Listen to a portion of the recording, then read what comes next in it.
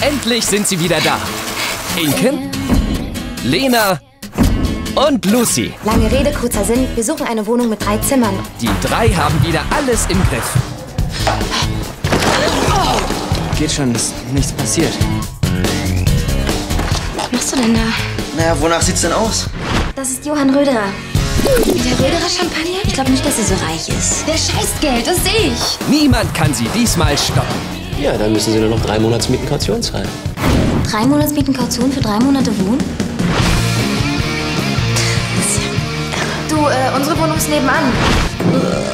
Hey, ein begehbarer Kleiderschrank. Das ist das dritte Zimmer. Doch die Suche nach der passenden Wohnung ist genauso schwierig, Der ist so süß. Der wohnt nebenan. wie den perfekten Mann zu finden. Das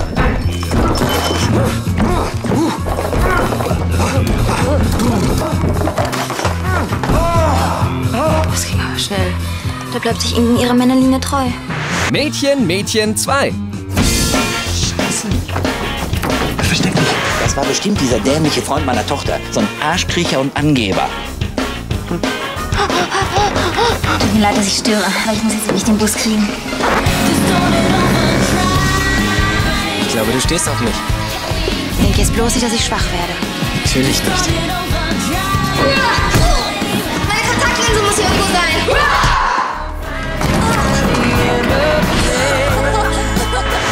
Mädchen, Mädchen 2. Was willst du denn jetzt? Will mit Sex am Flussufer oder was? Du bist so ein Rehstreichler.